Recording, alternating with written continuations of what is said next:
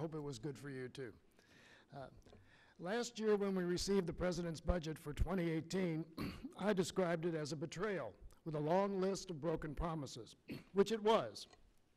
This year, I'm going to start with a positive.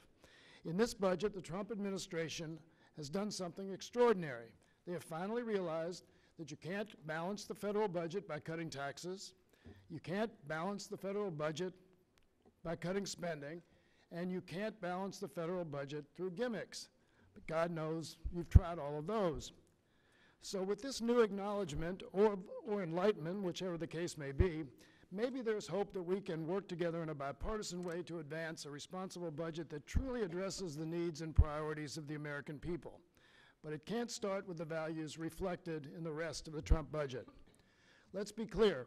This is an, is an irresponsibly extreme budget that reflects a disdain for working families, as well as a disheartening lack of vision for a stronger society.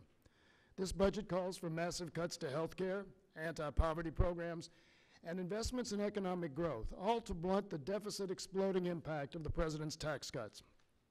It takes aim at the bipartisan budget agreement the president signed into law just last week, cutting non-defense spending in 2019 by at least $57 billion below the level called for in the two-year agreement. This is funding that would go to veterans programs, law enforcement, diplomatic operations, education, research, and other investments to boost jobs, revitalize communities, and improve economic security.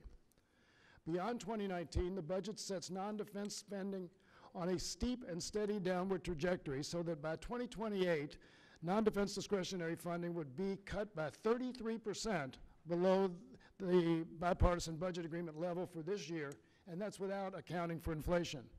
That is such a dangerously low level of funding, it would leave the government unable to carry out its basic functions. The budget then goes directly after mandatory spending, brutally targeting programs that help Americans living paycheck to paycheck. It cuts $263 billion from mandatory programs that safeguard basic living standards, including a $214 billion cut to the Supplemental Nutrition Assistance Program that protects 44 million people, including 20 million children, from going hungry each night.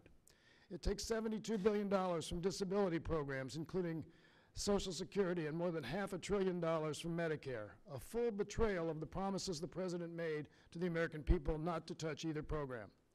And despite the public's outright rejection last summer, the President's budget continues the Republican obsession with dismantling and destabilizing health care for millions of Americans. It makes another attempt to repeal the Affordable Care Act and replace it with an already rejected plan that will leave millions more people without meaningful health coverage and weaken protections for people with pre-existing conditions. As part of this continuing attack, the budget cuts $1.4 trillion from Medicaid, jeopardizing care for seniors in nursing homes, children with disabilities, and low-income families. Even where this budget claims to increase investments, it fails. This proposal pretends to make infrastructure a priority with $200 billion in federal funding, a figure that falls embarrassingly short of our nation's infrastructure needs. But then the budget simultaneously cuts 122 billion in highway programs while severely cutting or eliminating other infrastructure investments our cities and states need. But even after all of these reckless cuts, the budget can't hide the true devastation of the tax cuts. So it once again relies on unrealistic economic assumptions to make its deficit proje projections look less ominous.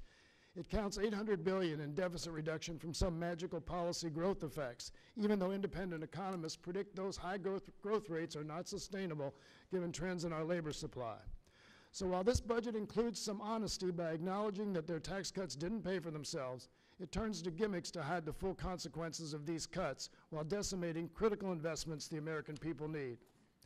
The federal budget is about choices, choices that have major impacts on the American people. Not a single millionaire would have gone hungry without the new tax cuts my Republican colleagues just gave them.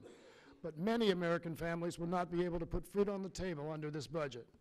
Others wouldn't be able to afford health care or housing or to heat their homes in the winter. These are choices my Republican colleagues are making, and they are reprehensible. Our task here is to build a stronger society, and to do what we need to, to do that, we need investments in education, healthcare, job training, innovation, infrastructure, and more. If you believe America is better off by gutting these investments, you fundamentally misunderstand the true source of our nation's strength. I yield back. I thank the